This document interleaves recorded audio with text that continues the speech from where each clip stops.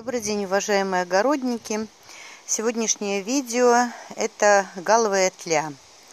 Обращаю ваше внимание на то, что вот э, на соседнем участке, э, который ну, достаточно так запущен, э, несколько зарос, зарос травой, на смородине появилась галовая тля.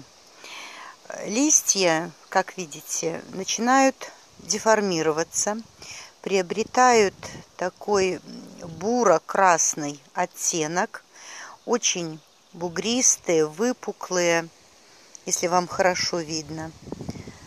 Обратная сторона тоже имеет такой же окрас, и если присмотреться, то можно увидеть мелкую тлю.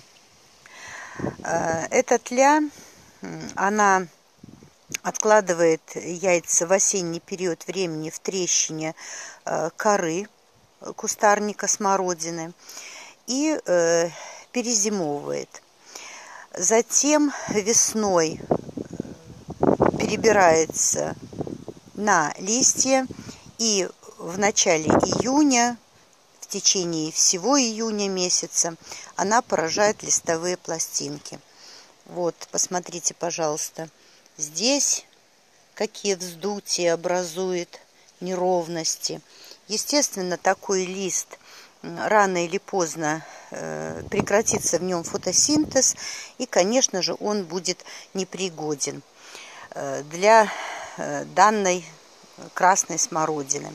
То есть он функцию никакую на себе уже нести не будет.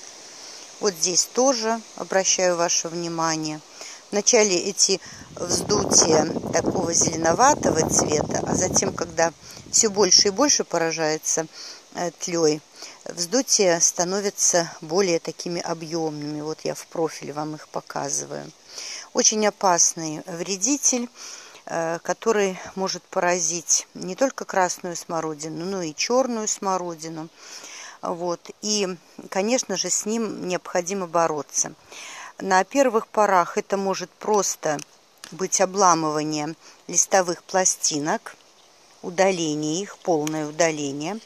Но когда э, вот эти галы, э, наросты увеличиваются и распространяются по всему э, кусту, то, конечно же, бороться с ними приходится э, химическими какими-то способами. Естественно, это различные вещества, которые могут уничтожить э, головую тлю. Вот на обратной стороне листочка, посмотрите, пожалуйста, как он сильно поражен галовой тлей. Вот буквально весь он в этих бугристостях.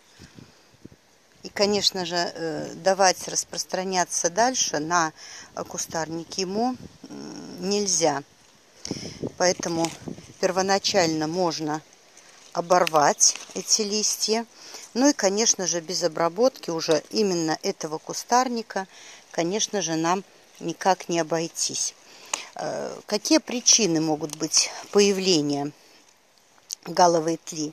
Ну, прежде всего, э, очень э, такая первоочередная причина – это то, что когда кустарник плохо обрабатывается от сорняков, на них, на них очень часто э, тоже появляется тля на сорняках и затем уже переползает непосредственно на сам кустарник, где э, питается листвой, э, высасывая, так сказать, соки из листьев, из листьев растения.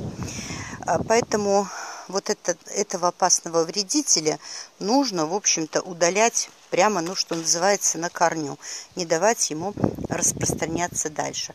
Э, какие же препараты? Ну, прежде всего, это искра, э, достаточно неплохой препарат, это кинмикс, э, ну и биоферм можно использовать, то есть из химических препаратов, вот те, которые я назвала. Также можно э, попробовать э, на самом первом начальном э, этапе, это э, припудривать э, растение табачной пылью, для того, чтобы не дать ему так сказать, развиваться дальше. Вот. Можно обрабатывать чесноком, то есть как бы такие отпугивающие меры применять для этого опасного вредителя.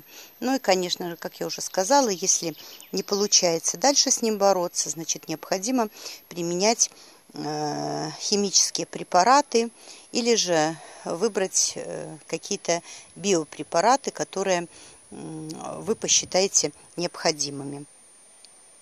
Спасибо большое за внимание.